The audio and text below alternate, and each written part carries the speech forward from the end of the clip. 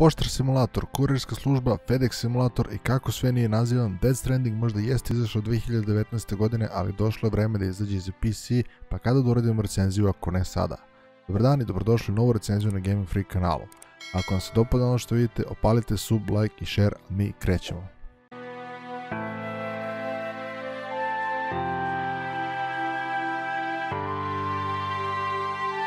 Mnogi ljubitelji Hidea Kojime su se pitali kuda će i šta će biti s ovim popularnim gaming kreatorom nakon što je otišao iz Konamija. On nije sedao skrštenih ruku i donao nam je naslov kakav je Death Stranding koji definitivno strži Kojimin pečat i neće razočarati sve ljubitelje lika i dela Hidea Kojime.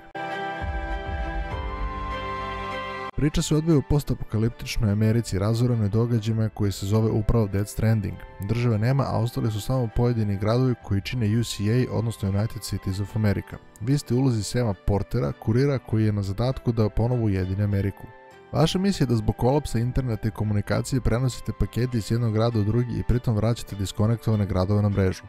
Na tom putu imat ćete niz prepreka od terena do bandi koji vas jure ne bili vam uzeli robu koju nosite pa do BT-eva odnosno Beached Thingsa koji ubacuju malo horror elementa u igru. Beached Things su nevidljiva stvorenja golim okom koje se pojavljuju na mestima gdje pada kiša i jure vas kako bi vas odvukli na drugu stranu odnosno život nakon smrti.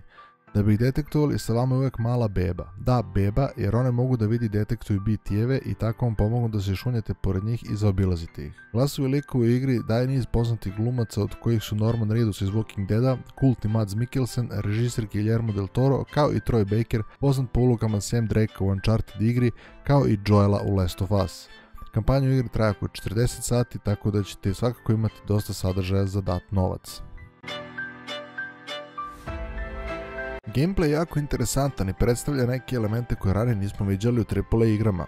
Noseći teret morate da pazite na težinu isto kao i da balansirate kako ne bi pali i tako oštetili pakete koje nosite i za njih dobili manje lajkova. Da, dobro ste čuli, za svaku isporuku umjesto para dobijete lajkove, što je satirični osvrt na svijetu u kome danas živimo. Vašeg lika možete da napredite tako što ćete mu napraviti bolje čizme i skelet kako bi mogao da nosi veći teret ili pak da se brže kreće kroz duboki sneg. Ako ne bi cijelu Ameriku prelazili peške, negdje ćete imati priliku da uzmete kola ili motor kako bi sebi olakšali put. Jedna od zanimljivijih stvari je da ova igra u single playeru ima multiplayer segment.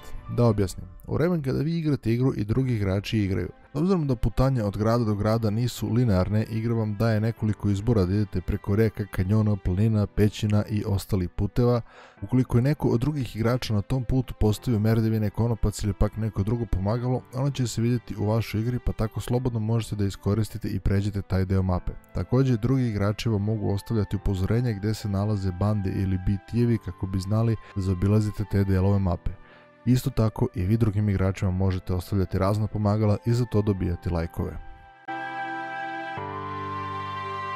Grafika je određena odlično. Igra koristi Decima engine koji su dobili od Guerrilla Gamesa, a u kojem je rađena igra Horizon Zero Dawn, pa ćete tako kao zahvalnost imati prilike da vidite mnoge iste regove koje se tiču Horizon igre. Imat ćete prilike da vidite prelepo opustošenu Ameriku, kretati se kroz ogromne poljane, planine i reke.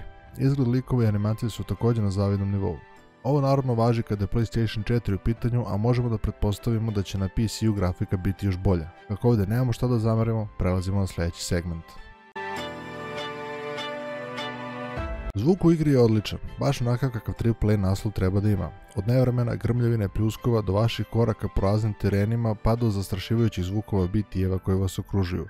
Kada pričamo o muzici, reći ću da je Dead Stranding igra za koju sam rekao da je prošle godine imalo bedljivo najbolju muziku od svih igara. U pitanju su manje poznati autori indie muzike koja je sjajna i savršeno dozirana. Nećete je čuti kada je situacija napeta ili kada se sprema nešto, međutim kada koračate beskrenom pustoši Amerike, uživat ćete u njoj dok vas prati i opušta do vaše sljedeće destinacije.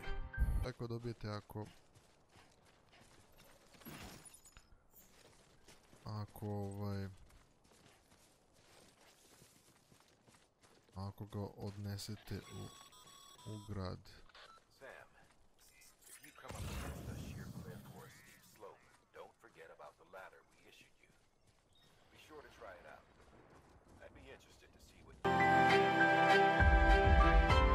Ovo definitivno nije igra za svakoga. Svi koji pratimo gaming svijet znamo koje Kojima i kakve on igre voli da radi, pa tako ako ste njegov fan, onda treba da probate ovu igru, a ako niste i nije vas privuklo ono što ste vidjeli u recenziji, onda je možda bolje da zaobiđete ovaj naslov. igri dajemo konačnu ocjenu 8.6, to mislim da je sasvim dovoljno za ovaj naslov. U svakom slučaju, ako nemate namjeru da igrate igru, na Game Freak kanalu imate kompletan walkthrough pa možete pogledati, a možda se i predomislite nakon par klipova. Bila je ovo još jedna recenzija na Game Freak kanalu. Ako vam se svidjelo ono što ste vidjeli, subscribe se na kanal i pridružite mi se na društvenim mrežama i Discordu kako ne bi propustili neku narednu recenziju, klip ili live stream.